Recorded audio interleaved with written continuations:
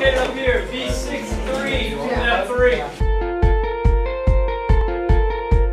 In the box on the left, ladies and gentlemen, use symbols to draw with the hydrate, the aluminum chloride. What's the hydrate looks like on the particulate? How many aluminums do we have? One. How many chlorides? So since you have four oxygens, you have to use as much of them as you can.